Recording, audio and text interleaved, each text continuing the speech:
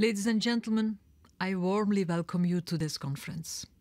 I wish you an interesting discussion on work and education aligned to the future. I'm looking forward to learning from your discussions. I am sure these will contribute to our own thoughts on the future of work and vocational training.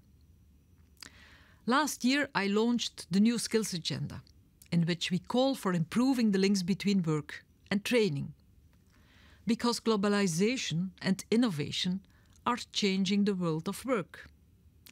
Work based learning and experience abroad will help people better prepare for the jobs of today and tomorrow. Vocational education and training is essential in making this happen. You are essential in making this happen.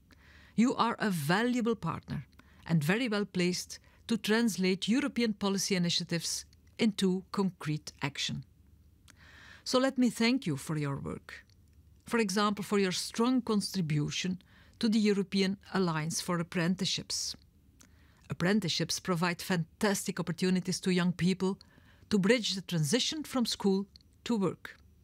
And thanks to your outstanding contribution, the European Vocational Skills Week was a great success last year. I hope you will take part with the same enthusiasm and drive this year.